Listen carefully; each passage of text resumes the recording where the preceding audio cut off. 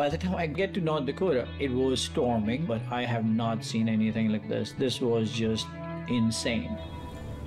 Look, it's freezing outside. I'll tell you everything when I see you. Where are you now? I'm on my way to the bus stop.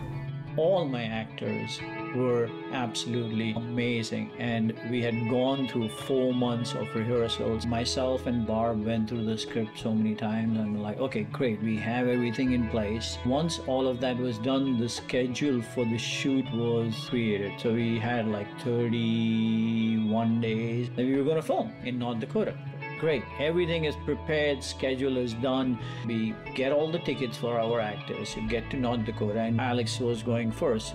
And then after that comes Lydia two days later, and then after that comes Megan, and after that comes Mike, who's playing Miles. And we were going to go do 10 days here, five days there. And then they were going to fly back as, as they were done. Ashley, our line producer, helps me set up and whatnot. The next day, I go with her and Paul, our line producer as well, and an actor, uh, to the location. I get to the location and it snows again, and it's crazy snow. And I'm talking about snow, I'm talking about four, five feet of snow on that road. It's impossible to go through. So we decided to change the location. All our locations changed. And if you plan on filming in harsh weather conditions, don't expect anything because where I had planned and I had shown my actors and we had rehearsed and everything went out the door. Scene 23, Becky, take two.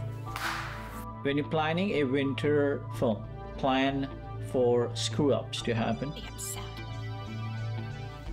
Sorry, we'll take it from the top again. I shook. If you want to be in control, rehearse, give them enough information so they know it and they can perform. So that kind of is out of your mind as a director. And then when you're there, you got to roll with the punches.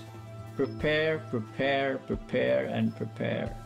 Surround yourself with people that will back you no matter what. That's a wrap!